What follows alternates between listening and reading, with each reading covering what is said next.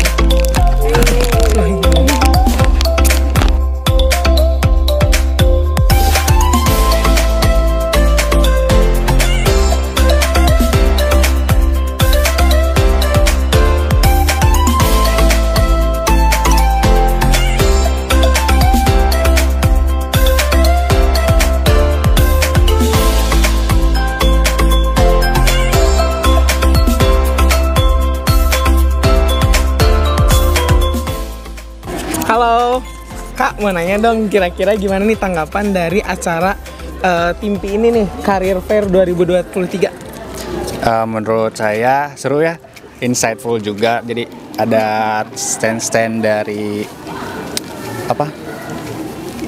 Perusahaan-perusahaan. Jadi kita juga tahu kan kita selaku alumni ya, kita mencari locker ya ya difasilitasi ya? ya difasilitasi. Oke. Ya, makasih Kak. Lanjut dadah. Terima kasih.